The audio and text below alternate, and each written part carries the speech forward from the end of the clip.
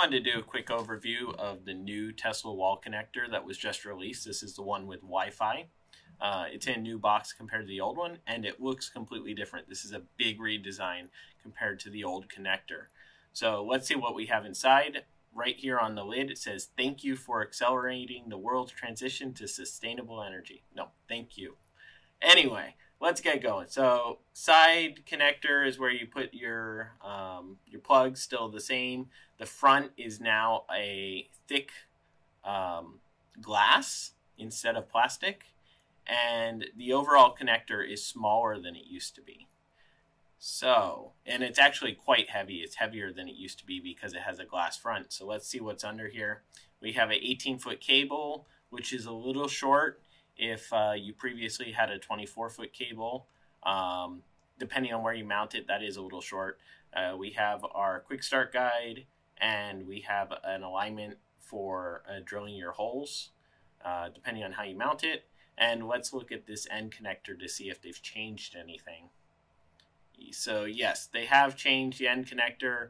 They're, the old one has more of a, a texture to it to help you hold it. The new one's smoother. Um, I think the fit and finish is a little bit better on the new one. The button feels the same, but there are differences in this uh, this new connector. Let's just compare them here. You can see them side by side. That's the new one on the right, and the left one, the one on the left is the old one. The contactors here are different. They changed the design. Um, the metal pins in there are different spacing it looks like um, my older one is you know it's been used a bunch so obviously it's dirty and it's not going to look the way it did new but they definitely changed these center pins for alignment okay so now let's get to this uh, the size difference between them this is the faceplate from my old one um, and comparing it to the new one the the new one is definitely about an inch shorter than the old one. Now, the old faceplate was removable, it's plastic. You undid the screw and you could pop it off. I don't see a removable feature on this. If there's a way to remove it, I haven't found it. There's not a screw. Um, I'm not, you know, going to try to take this apart. It doesn't budge when you, you pull on it. So here's the quick start guide it shows a Model 3 in here instead of, you know, Model S or X.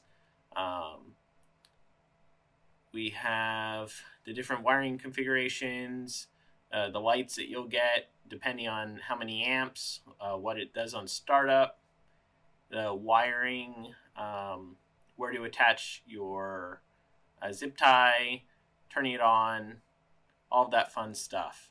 Now, to, to get into it, you pull off this back piece and right from the start this is different than the old one. You know the most of it's contained in this front piece and there's these two contacts which it doesn't mention what they're for in the manual. Uh, and then you have these the bigger ones here that looks like it might be a sensor right there and then if you look on this back piece they completely changed the way that these contactors work the old ones were hard to get tight and uh, could cause fires if you didn't tighten them properly, which was common. They had like these little metal blocks that would come down, and uh, the new ones are definitely improved there. Uh, you can just slide the wires right in, and then you turn these the from there, and it'll tighten down onto it. It comes with the screws you need to mount it and a zip tie to tidy up your internal wiring here. You can mount it the wiring from the bottom or the top and that's pretty much it. So that's a quick overview, and see you guys next time.